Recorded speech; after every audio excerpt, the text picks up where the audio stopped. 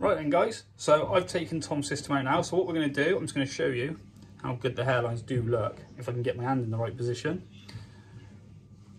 So as you can see, it's a real natural looking hairline on that front edge. So obviously this lace has got to be cut off, so I'm going to do that. It's very difficult for me to show you because obviously I've got no one helping me film and uh, I don't want to cut my fingers off, so and I need to use two hands. So I'm going to cut the lace off this, then we're going to go back in and get it all lined up and ready to go. Right, so I've cut the lace off. So all I'm going to do now, I'm going to move the top a bit forward because the chair's moved and I'm going to be in the other room in a minute, Carol. Just going to place it on. Make sure we get it in roughly the right place. Like that. Going to get the eyeliner. And then basically, we're going to be aiming for roughly four fingers. Raise your eyebrows for me. So that's about right for me. How does that feel for you? Yeah, that's fine. Yeah? So what I'm going to do is, because we're going to do a bit of glue today, I'm just going to do loads of little dots or lines, whichever one you feel more comfortable with when you're doing it at home. Feel free. And the reason we do these is so that if you are going to do glue, you don't go below them. If you go below them, you're in the wrong place and you're going to end up with like these lines on your head that you can't get off. Trust me, I learned that the hard way. And it's incredibly sticky. yes. So, just like that. And then all I'm going to do, just because it's a first fit in, I'm just going to do a couple of tiny little dots just underneath. The only reason I do these is because when I roll the system, because the hair is quite long, sometimes I can't quite see where the line is properly. And I know if those dots are touching, I'm going in the right position. And then basically I'm just going to double check the system template because what tends to happen is the templates are rigid, the systems aren't. So we may have to take a tiniest bit more hair out, but it's just a common practice really.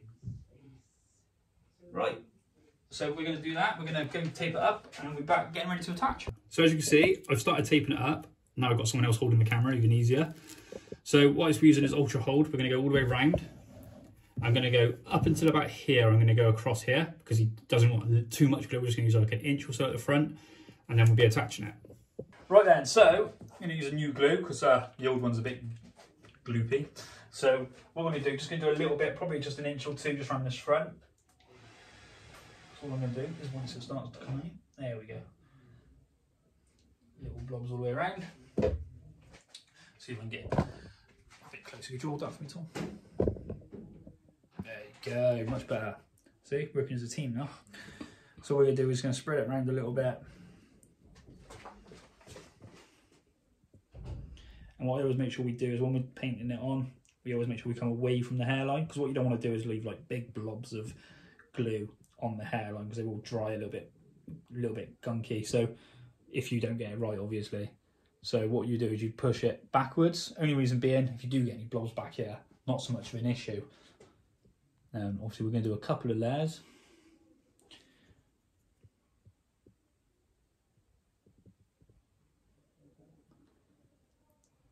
Right, so I'm going to let this dry, then we're going to do another layer, and then we're going to get it stuck down.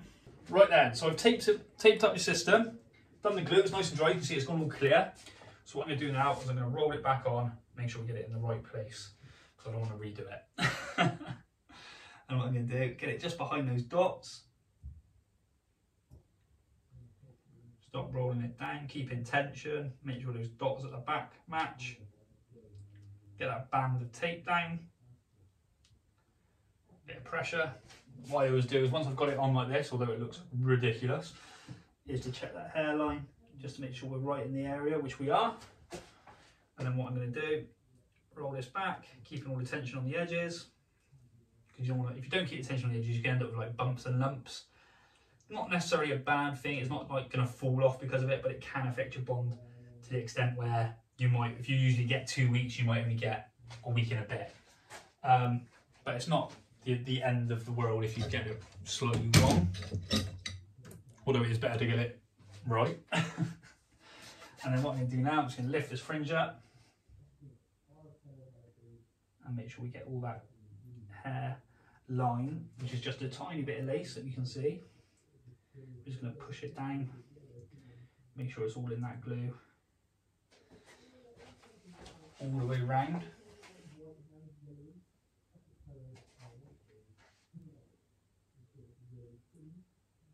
And then I'm going to wipe these dots off and then we're going to start cutting it.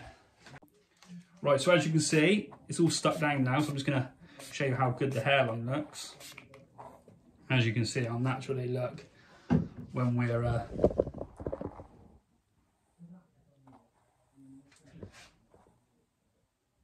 So now it's got to cut it. It doesn't doesn't like it that long, unfortunately. No, so we're going to cut it and um, finish it off.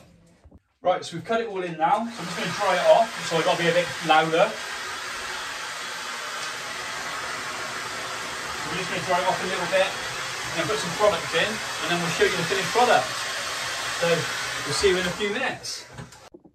So there we go. That's the finished product. As you can see, hairline looking dapper. Try to show you around if I don't walk into the shelves. It's a bit tight in here sometimes. There we go, all sorted. Looking good.